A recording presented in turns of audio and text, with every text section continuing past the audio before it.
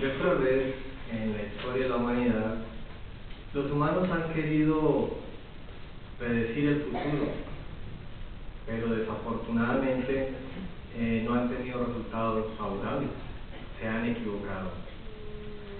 Lo han intentado por medio de oráculos.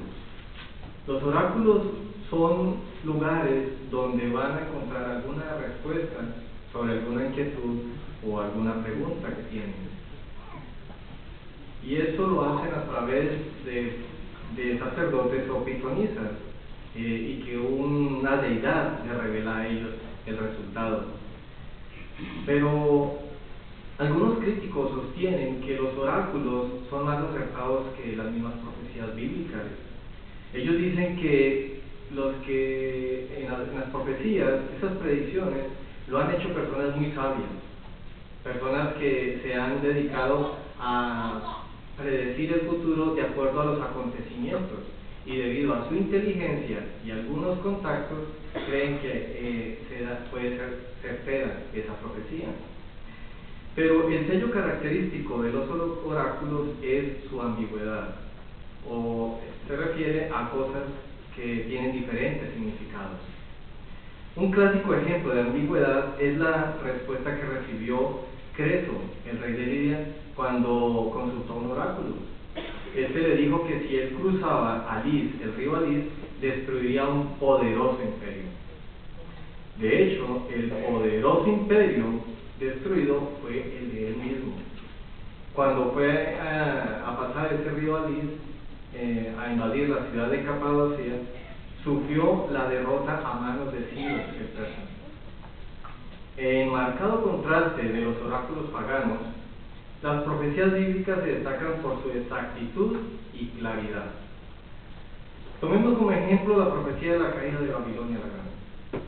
Dice que en el libro de Isaías se describe con exactitud también y con mucha precisión de que Medo Persia derrocaría Babilonia. Y esto lo escribió Isaías. Pero también mostró algo interesante. Veamos aquí en Isaías, el capítulo 44, que los invito a leer, ¿Quién fue? Claramente que mostró quién iba a derribar a Babilonia. Isaías 44, capítulo 27 y 28. Dice si lo tienen, aquel que dice a la profundidad cosa, evapórate, y secaré todos tus ríos. Aquel que dice de Tiro, es mi pastor, y todo aquello en que me deleito, lo llevará a cabo por completo. Sí. Aquí se mencionó que era Ciro el que iba a acabar a Babilonia.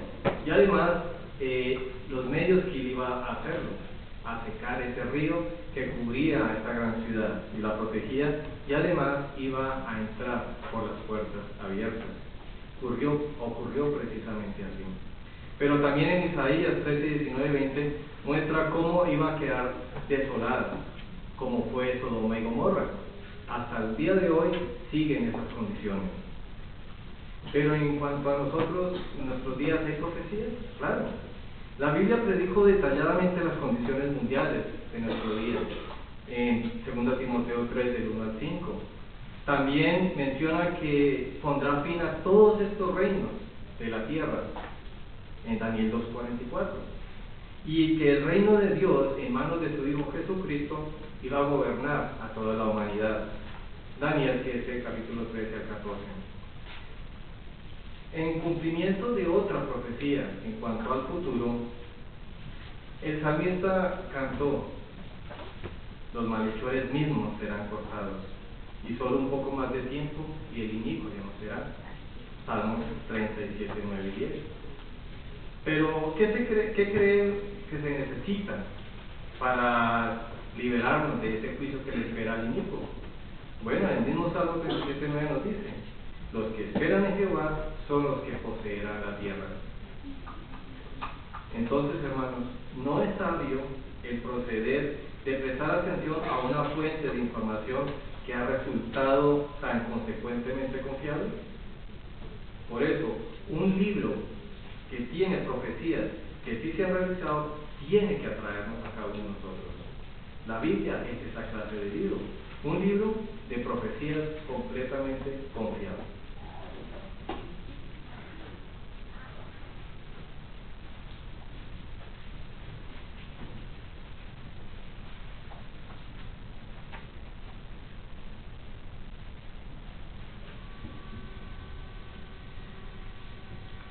También le damos las gracias a usted por su excelente preparación y lo que a mí me gustó es la calidad de su voz a través del discurso, como nos dice aquí el libro, una voz agradable, cálida, amigable y bondadosa.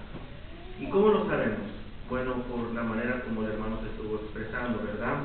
Porque nos dice que aunque nosotros estuviéramos escuchando el discurso del hermano en chino, bueno, no va a ser chino, en francés, ¿no? El chino es un poquito más áspero. Pero si lo estuviera él presentando en, en uh, francés, pudiéramos detectar si fuera altivo, intolerante, crítico y áspero por la manera como estuvieran fluyendo sus palabras. Nos dice el libro aquí. Por eso es importante que no solamente digamos las palabras adecuadas, sino que nuestro tono vaya de acuerdo con lo que nosotros estamos enseñando. Excelente, hermano. Y muchas gracias a todos ustedes por su participación en esta escuela. Queremos mencionarles que la semana que viene no va a haber reunión porque todos estaremos en la asamblea sábado y domingo, así que nadie tiene parte en la escuela del ministerio teocrático. Bueno, vamos a continuar con la siguiente hora de reunión y en este caso los invitamos a ponerse de pie.